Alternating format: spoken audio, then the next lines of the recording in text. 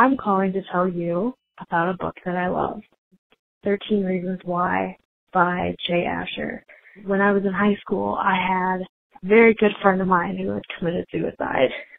I had found this book just searching for something, not knowing what it was about, and you know, it gives me a new perspective on people that commit suicide, especially my friend. Instead of closing myself out to people, especially people that I don't understand and don't know how they feel, I need to start opening myself up to other people.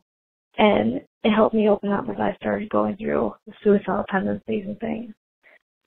So that's one of the major books that has really shaped me into the person that I am. So thank you for listening to me. I hope you have a wonderful day. Bye.